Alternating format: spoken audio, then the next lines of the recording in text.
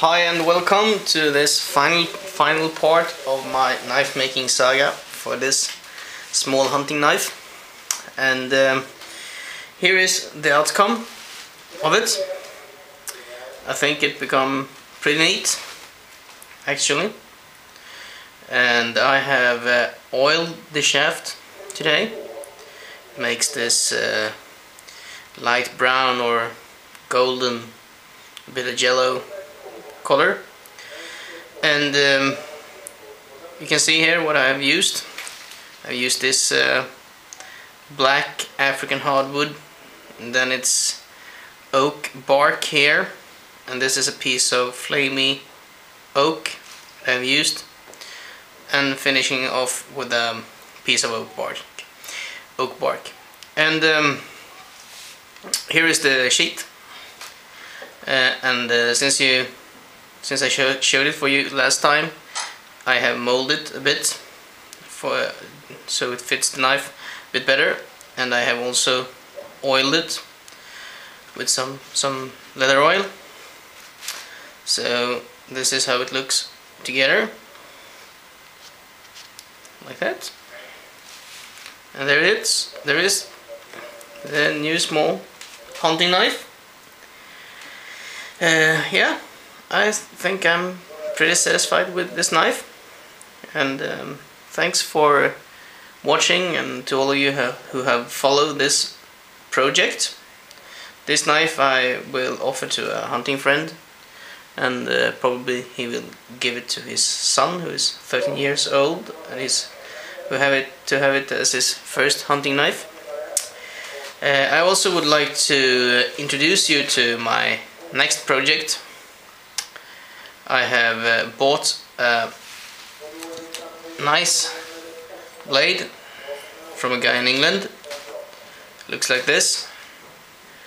And my my idea to to make handle for this one is to use this piece of oak bark. It's not uh, traditional. I have never seen anyone who have used oak bark in knives before uh, so if you ever see it maybe that knife will come from me. This is a pretty nice blade for uh, all kind of outdoor activities. It's um, it's um, uh, about 10 centimeters long. It's 3 millimeter thick.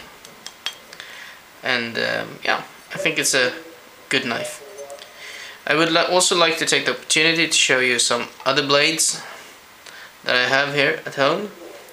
Maybe you will see those as a finished knife in the future. Here I have a small Karesuando blade. It's made from carbon steel. It's a pretty neat and uh, good blade. I haven't decided what it will looks like yet but uh, we'll see.